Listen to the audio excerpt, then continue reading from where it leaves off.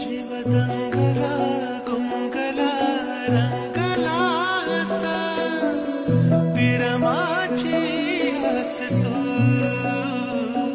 जीवनागला लाभला ध्यास यो तुझा गही मरला श्वास तू